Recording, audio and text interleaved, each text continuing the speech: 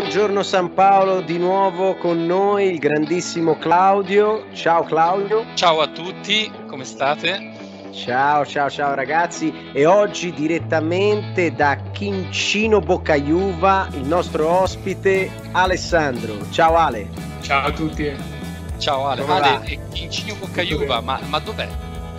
Si trova nella periferia nord di Rio de Janeiro, in Ah, Brasile. è per questo che ce l'abbiamo qui oggi, Alessandro. Certo. Eh sì. Eh sì, tra l'altro Alessandro, Alessandro qui è un misto di Alessandro. e allora oggi sei Gaini.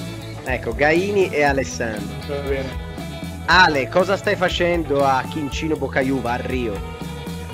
Eh, mi trovo, sono ospitato da una famiglia locale che ho trovato con eh, Couchsurfing e sto vivendo qua e rimarrò per otto giorni per poi tornare in. Italia. Hai fatto tra l'altro un viaggio molto importante, ci dicevi.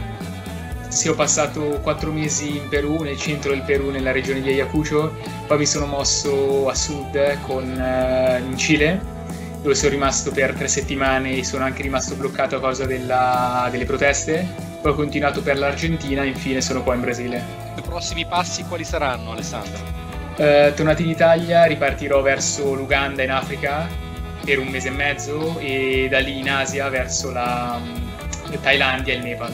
Bene, un viaggiatore. scarpe, eh? un Sì, sì. volontario viaggiatore, grandissimo. Bene, se volete ascoltare, capire tutto il viaggio, scoprire tutta la storia di Ale, ascoltateci su www.buongiornosanpaolo.com.br. A breve l'episodio. A presto. Ciao a tutti. Un abbraccio, Ciao. ciao.